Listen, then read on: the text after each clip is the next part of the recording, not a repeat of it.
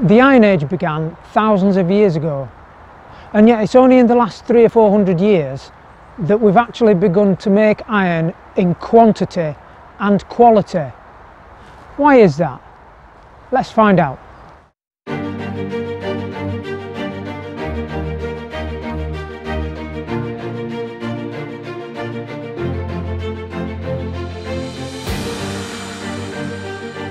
Hello, my name's Anthony and I'm an enthusiast. I love discovering stories about how people and technologies helped the world to make things and do things quicker, cheaper and easier. And today I'm looking at the story of iron production. In particular, I want to learn more about how we went from small scale iron production to the larger scale volume production that thrust the world into the modern age. Now I'm no historian. According to Wikipedia, there's evidence of blast furnace activity in China going back thousands of years. But I don't live in China. There's also evidence of the earliest blast furnace activity in Europe in Sweden dating back to the 12th century. But I don't live in Sweden. I live in England, which is why I've come here.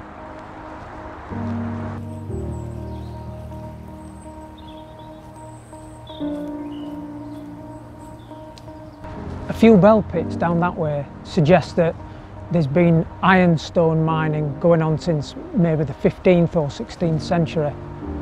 Quite a long time.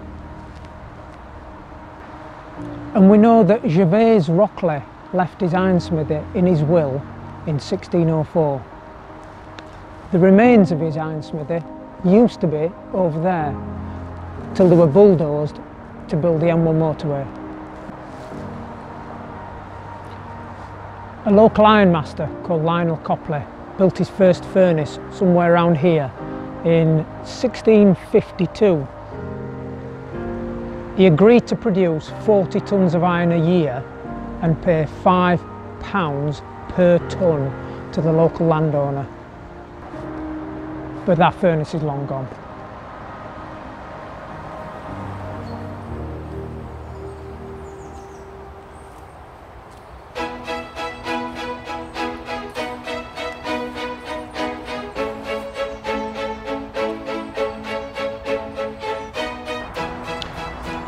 This place though was built in 1704 by Lewis Westcombe. He borrowed the money to build it from the Spencer family at Cannon Hall. This furnace is made up of three walls. The outer wall used to be faced with smooth stone, a little like the stone that you can see at the base. And inside the furnace was a, a large sandstone pot. And then in between the infill was this rubble that you can see today.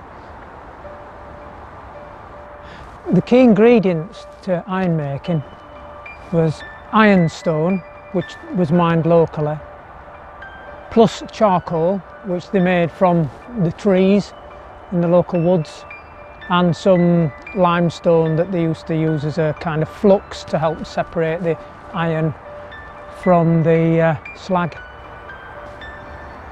Used to mix all of the ingredients down here, uh, pre-prepared, and then they wheel it up this ramp and there used to be a bridge across from the edge of the ramp across the top of the furnace.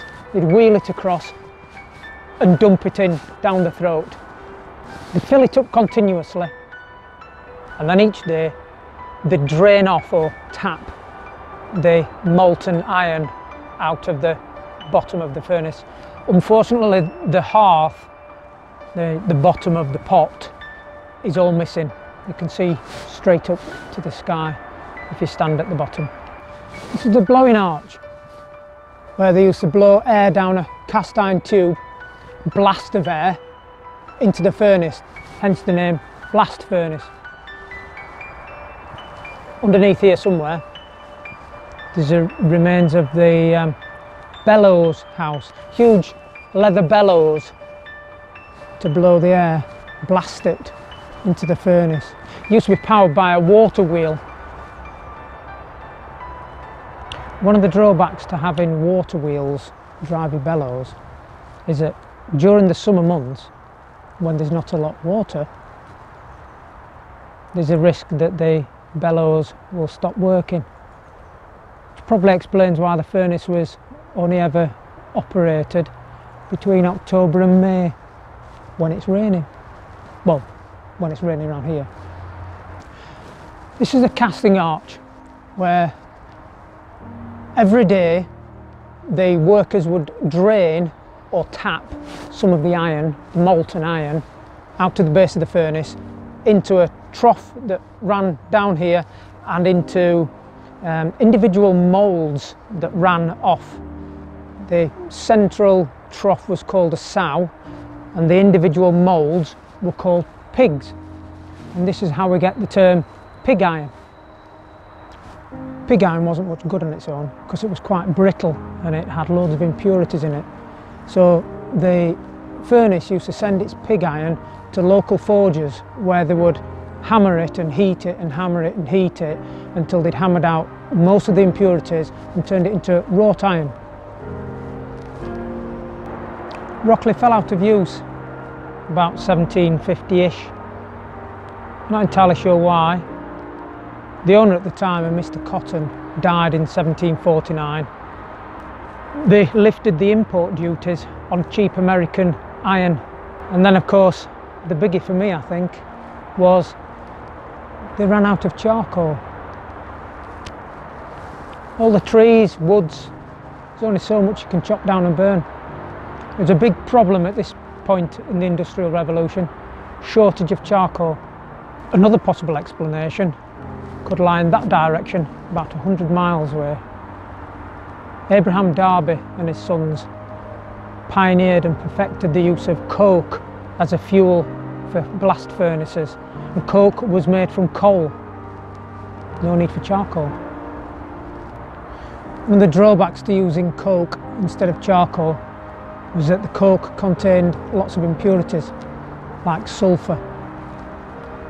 That meant that the iron produced was, well, rubbish with the introduction of steam engines to replace water wheels so a huge increase in the efficiency of blast furnaces because they could use them 24-7 365 days of the year unlike this furnace which was used for barely six months of the year. But then came the Napoleonic Wars. Rockley was relit this time using coke. Under here, there's a, unique circular casting pit, just the right sort for casting cannon. But the work didn't last long. Rockley stopped producing not long after it was relit. Nobody's sure why. The records don't show when or why it went out of use again.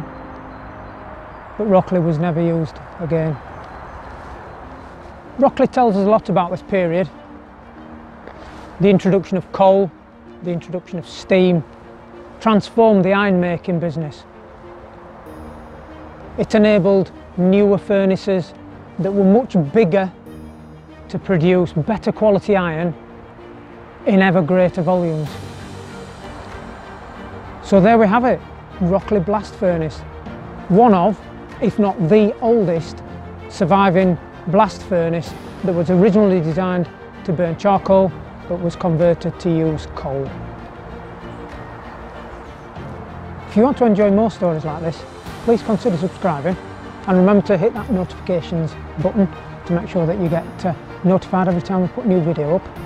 And uh, thank you for watching and if you haven't already, join the revolution.